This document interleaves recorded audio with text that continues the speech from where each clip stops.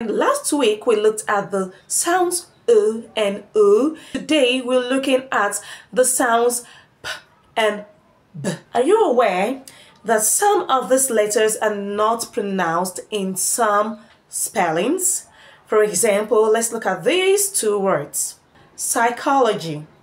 Psychology. Now the P there, the letter P there is silent. Now let's look at this second word, womb womb. The letter B is silent. That is a sound B is silent. Let's look at this. Debt. Yeah, debt. Debt. The letter B there is silent. So today we're looking at the P and the B sounds. Hello and thanks for watching. My name is Bridget. On this channel, I teach sounds grammar, compositions, and other problematic topics in English. If you want to learn more of these topics, please like, share, comment, and follow for more. Remember to hit the subscribe button and hit the notification bell so that as soon as I upload videos, you get notified.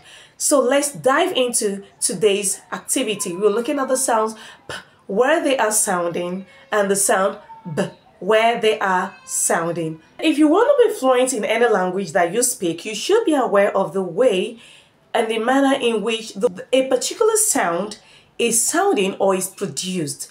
For example, in some parts of Nigeria, we have some group of persons who really do not use the sound p or letter p in their phonemes and so they tend to substitute the sound p for others. For example, some set of persons Instead of saying people, they simply say fee fearful, fearful, fearful. So the essence of teaching this topic is for us to be aware of the phoneme p or the letter P. The letter P sounds p and it can be found in various spellings or representations. That is, it is not only found with or associated with the letter P. Let's describe the sound. The p sound is articulated. P, p is a voiceless, bilabial, oral, plosive consonants. The sound p can be represented in the following letters. In letter P, as in plots, plots at the initial position. We find the word, the sound p at the, p at the initial position plots. And then we find it in slap. Slap at the final position. Okay, napkin. Napkin in the middle position. Napkin. We could hear the sound in the middle position. Now we can as well find the sound in letters P, P, as in upper. Of course, you can start with um, PP when you were spelling so we mostly find it in the middle of words. So we have it here as in upper, happy, happy. Are you happy? Yes. And then we find it in letters PH. Now, PH can as well be pronounced in some other phonemes, in some other ways, but we're pronouncing this as shepherd, shepherd shepherd. Now, let's look at where this sounds, the letter P, is silent.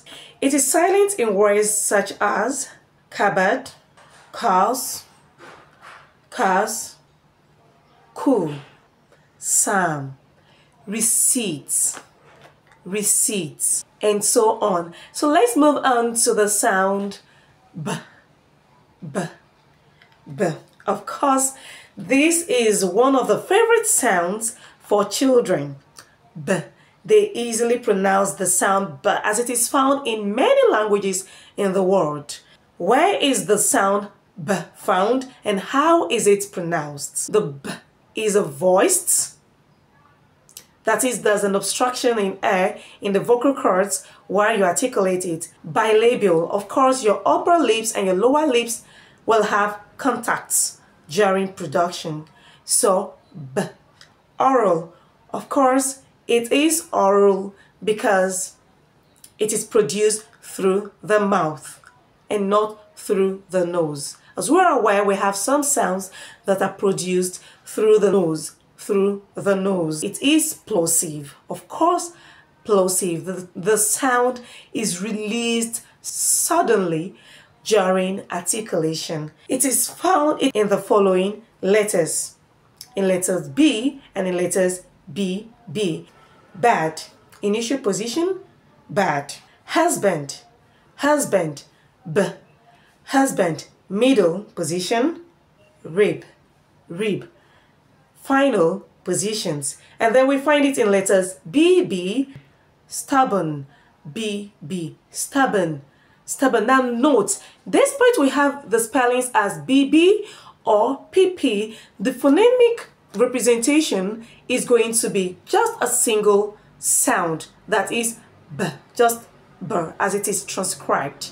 The written letter B followed by letter T at the end of words or syllable can be silent. That is, we find a silent B at the end of words where the B is followed by the letter T. For example, we have the word subtle, debt, doubt. The written letter B can as well be silent after letter M in word finals.